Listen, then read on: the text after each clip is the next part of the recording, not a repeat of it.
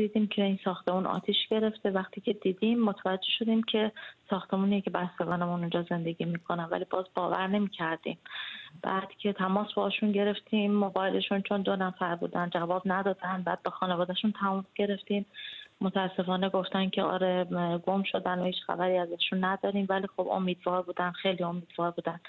تا اینکه مرتب در تماس بودیم چون ما خودمون لندن نیستیم خارج از لندن هستیم. ولی متاسفانه تا الان هنوز هیچ خبری ازشون نداریم.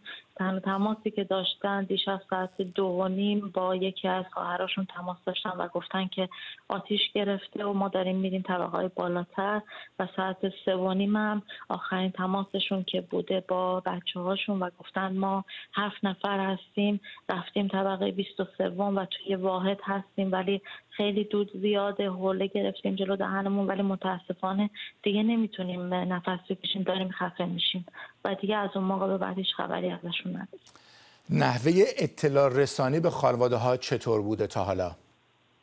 متاسفانه اصلا خوب نبوده. هیچ خبری اصلا ازشون نیست و واقعا من فکر می‌کنم واقعا متاسفانه از یک کشور اروپایی که انقدر ادعای پیشرفت و تمدن می‌کنن این یه همچین امکاناتی واقعا بعیده.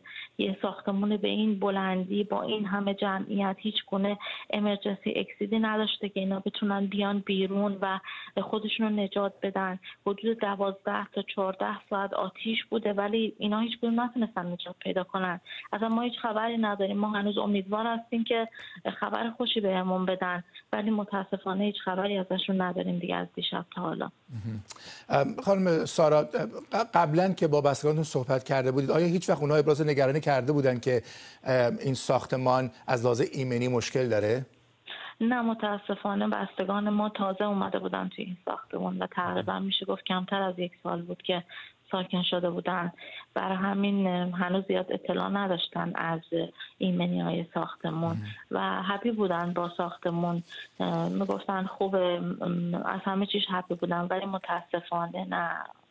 انگاری که اصلا ای کاش که اصلا نمی اومدن اینجا و تو همون خونه قدیمیشون میموندن. متاسفانه.